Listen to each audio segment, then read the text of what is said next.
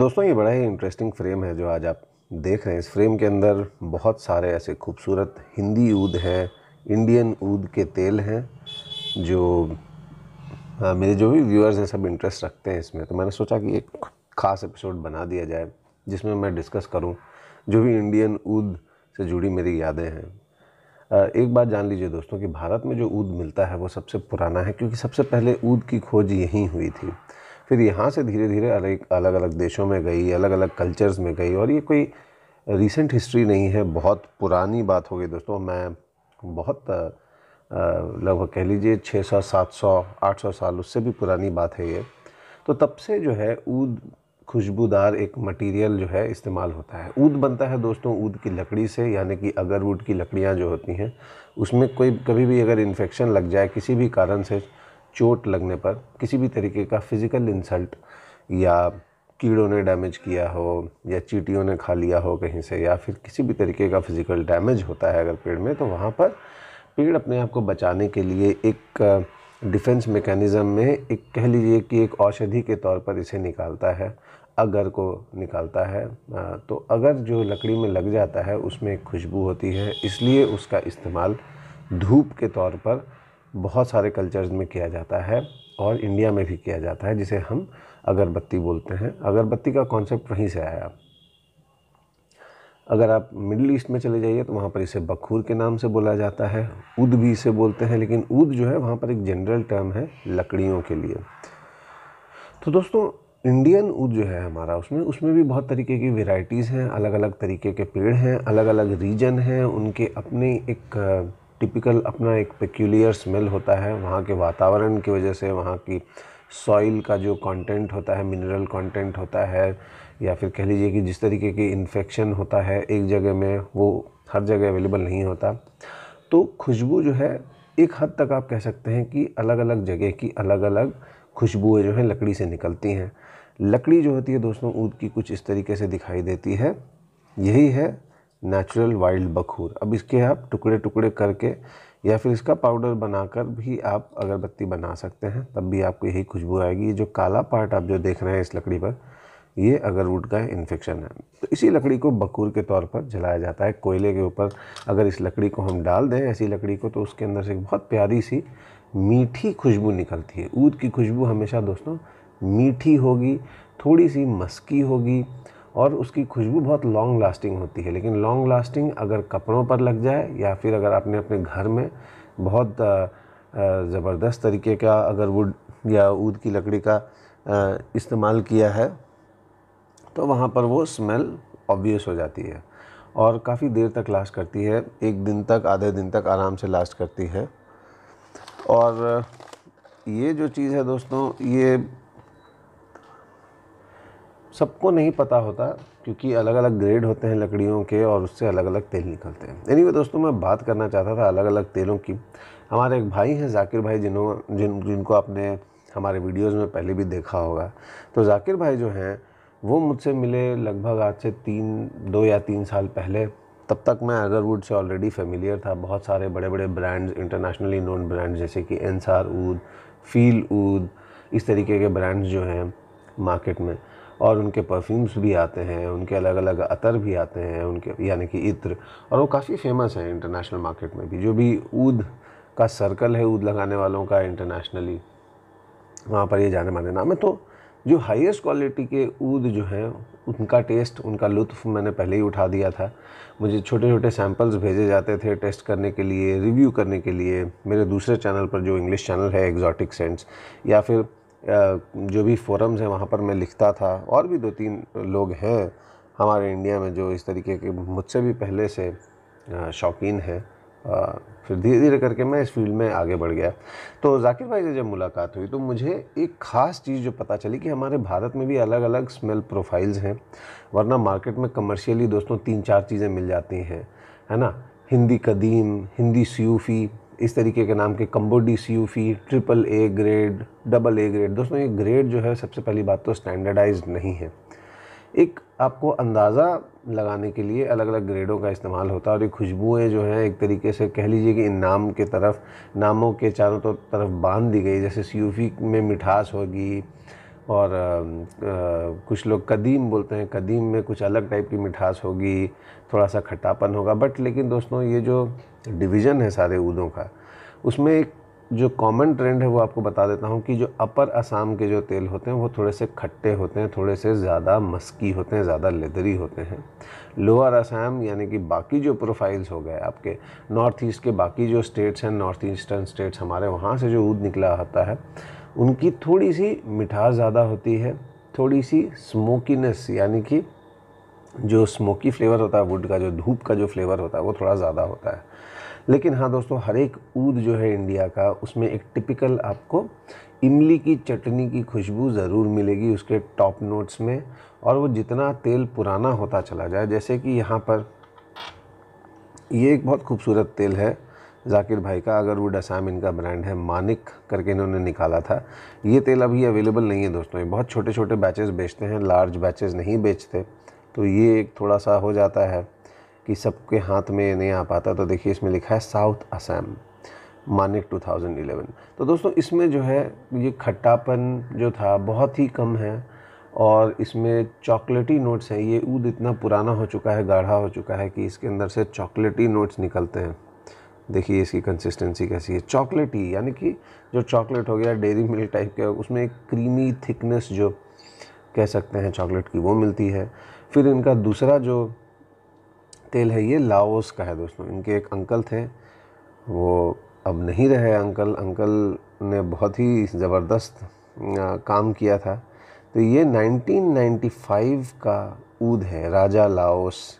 तो ये लाओसी तेल है, लेकिन दोस्तों इसका जो स्ट्रक्चर है, बड़ा ही खूबसूरत है।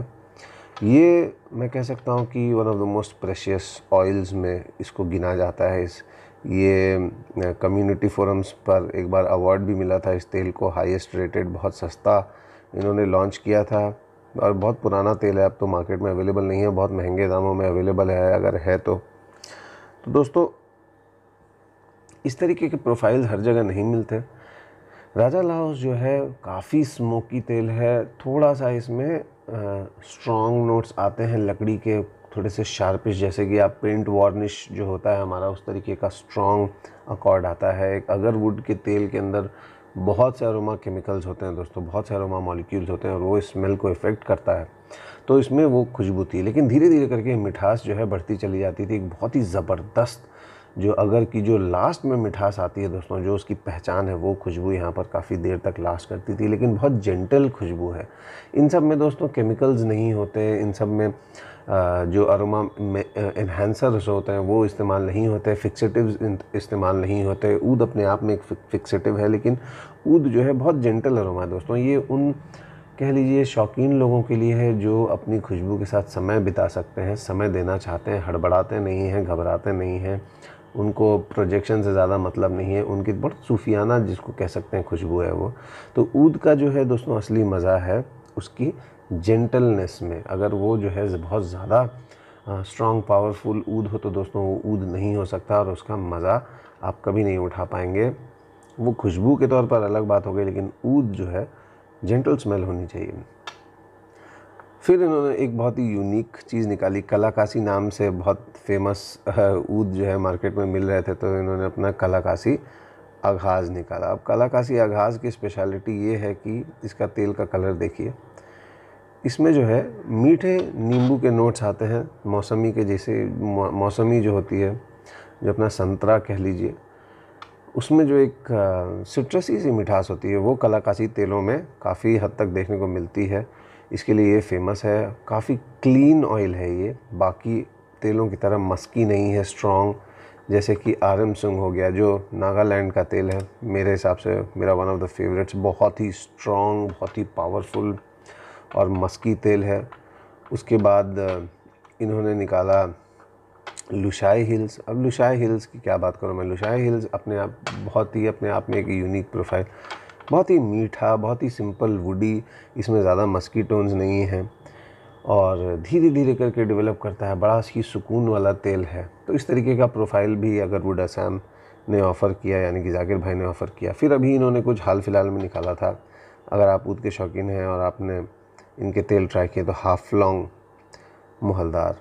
तो हाफ़ लॉन्ग भी जो है, मीठा तेल है, थोड़ा सा खट्टा भी है, थोड़ा सा फ्रेश है फिर इन्होंने निकाला काला कासी नागा। तो काला कासी नागा जो है, ये नागालैंड का काला कासी तेल है। तो ये कलाकासी क्या होता है दोस्तों? कलाकासी जो है बेसिकली एक तरीके की लकड़ी होती है, कोई बहुत बहुत हाई ग्रेड लो ग्रेड वाली बात नहीं है। एवरेज ग्रेड की ही लकड़ी होती है। कलाकासी के नाम पे बहुत सारे कमर्शियल ब्रांड्स महँगा तेल बेचते हैं बट कलाकासी अगर उनकी रियलिटी की बात की जाए, वास्तविकता की बात की जाए तो कलाकासी एक सिंपल तरह की लकड़ी है जिसमें एक अपियरेंस होता है। मतलब उसको देखकर, उसका जो लकड़ी का जो टेक्सचर होता है, वो कह लीजिए कि जो हमारे केले के पेड़ होते हैं, यानी कि बनाना ट्री जो होता है, उसका जो बार्क का जो अपियरेंस होता है, उस तरीके का दिखता है। थोड़ा सा काला, उसमें रेड स्पॉट्स बीच में दिखते हैं तो उसे कलाकासी पतली पट्टियाँ होती हैं बेसिकली फ्लैट पीसेज होते हैं, और ये चीज़ मैं आपको कंफर्म कर कर सकता हूँ, क्योंकि मैंने इंडस्ट्री एक्सपर्ट्स के साथ बैठ ये बातें की हैं डिस्कशन किए हैं।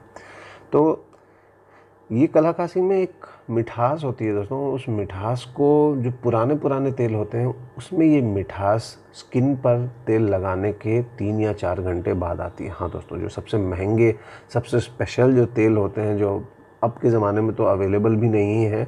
बहुत ही जो पुराने पुराने जो भी लीडर्स हैं इंडस्ट्री लीडर्स हैं उनके पास ये स्पेशल तेल रहते हैं अपने गेस्ट्स को सैंपल करने को मिलता। है लकीली मैं भी उनमें से एक हूँ मैंने भी एक बार ट्राई किया है या फिर बहुत महँगे दामों में आ, इनको रॉयल हाउसेस को बेचा जाता है और लग्जरी हाउसेस को बेचा जाता है। बहुत कम लोगों के लिए ये सब कलेक्शन अवेलेबल है क्योंकि हर लोगों को ये चीज़ समझ नहीं आती और काफ़ी एक्सपेंसिव भी हो जाता है। फिर दोस्तों, इन्होंने एक स्पेशल तेल निकाला जिसकी मैं बात करूँगा और ये वीडियो मैंने बनाया भी खास इसी के लिए क्योंकि इंस्टाग्राम पर मैंने इसे देखा तो मैं इनक्रेज हो गया बनाने के लिए। ये जो है, मेथी जो है, इनका तेल जो है, बहुत ही ख़ास तेल है स्पेशल तेल है। इसकी मैं क्या बात करूँ दोस्तों, ये एक टिपिकल इंडियन प्रोफ़ाइल है। अगर आप ऐसा तेल लगाएँगे तो आप समझ जाएँगे कि खासियत क्या है इंडियन ऊद की। सबसे ज़्यादा इसको लगाने का मज़ा तभी है दोस्तों, जब आप रात में, शाम में घर लौटे हों अपने काम से, आराम से नहा धोकर, फ्रेश होकर बैठें। और थोड़ा सा ठंडा मौसम ज़रूर होना चाहिए, बारिश का मौसम या फिर या फिर हो तब भी बहुत अच्छा रहेगा आपके लिए। थोड़ा सा दोनों कान के पीछे हल्का हल्का लगा लीजिए और वो खुशबू को धीरे धीरे डेवलप करने दीजिए। शरीर पर और कहीं लगा कर उनको बर्बाद करने से कोई फ़ायदा नहीं है, क्योंकि इसकी खुशबू का मज़ा तभी आता है जब आपका हेड में मूवमेंट हो जब सर हिल रहा हो या फिर आप अपने काम में बिज़ी हो थोड़ी थोड़ी हवा की जो झोंक हवा का जो झोंका आएगा धीरे से हवा उसकी खुशबू को खींच कर आपके पास लेकर आएगा। तभी इसको आ, समझने का आनंद है दोस्तों कि ऊद में ऐसी खासियत क्या है। और ऐसा नहीं है कि ये किसी टिपिकल कल्चर के लोग लगाते हैं। अगरबत्ती हर कल्चर में इस्तेमाल होती है हर मंदिर में इस्तेमाल होती है।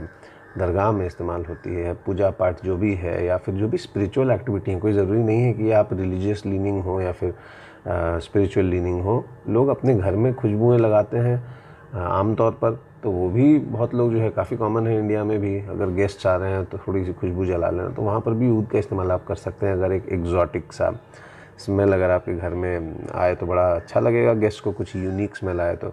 तो दोस्तों, ये सारी खुशबुएँ जो हैं, थोड़ा समय लगाइए धीरे धीरे करके ऊद पहचानना सीखिए। ये ये आपको एक्सपीरियंस से आएगा।